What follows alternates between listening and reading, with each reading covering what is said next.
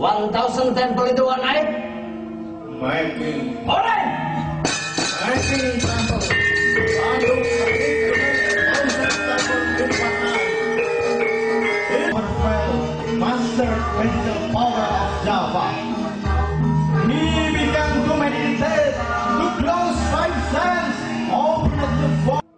Among Prasetyo, 35 tahun, warga RT 3 RW 2 Desa Ambal Resmi Kecamatan Ambal, yang juga putra dari dalang ternama di Kabupaten Kebumen Basuki Hendro Prayitno, melakukan rekaman wayang golek yang rencananya akan dipentaskan di beberapa negara Eropa.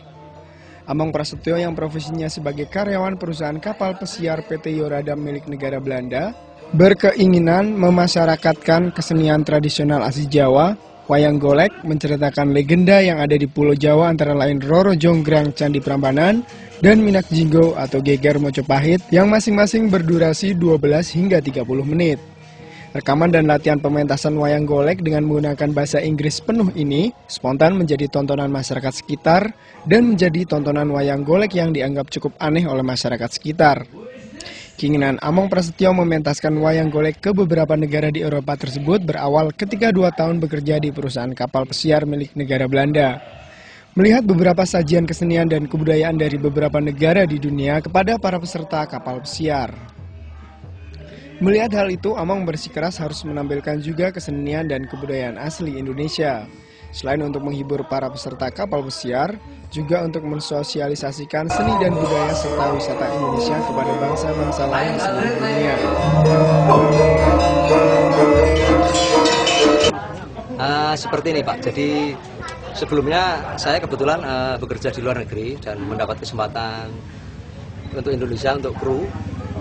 Eh, dan ke- ketika saya pentaskan ternyata mendapat sambutan mendapat sambutan untuk pementasan wayang golek.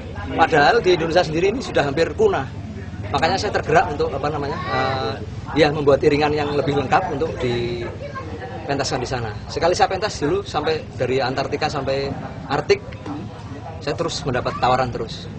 Mas ini dengan bahasa Inggris dengan bahasa Jawa ini beda ini. Nah, sebetulnya sama saja cuman tergantung penguasaan bahasa Inggris eh, dalangnya iya Itu wayang goleknya bukan wayang golek identik dengan Jawa Barat ya?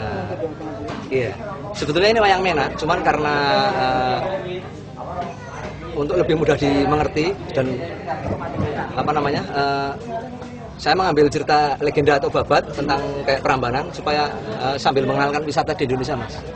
Jadi sekalian mereka tahu bahwa di Indonesia itu juga ada legenda-legenda itu dan rencananya ada syutingan di sampingnya tentang candi itu atau legenda-legenda itu lokasinya saya tampilkan. Jadi eh, memang betul-betul ada. Ini kapan mau te- pentas di luar negeri? Rencananya tanggal 10 Mei saya berangkat ke Italia. Sesudah itu saya sampai 10 bulan eh, dari Eropa Amerika terus berputar terus. Kesenian dan budaya asli Indonesia juga banyak digemari oleh masyarakat di negara Asia, seperti Jepang misalnya.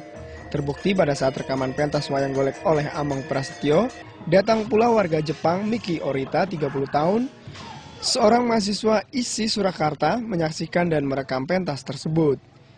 Miki menyampaikan tertarik sekali dengan seni dan budaya Indonesia, terutama seni dan budaya Jawa yakni wayang. Miki mengaku setelah selesai studinya di ISI, rencananya akan membuat satu komunitas di negara Jepang untuk memasyarakatkan kesenian wayang kulit.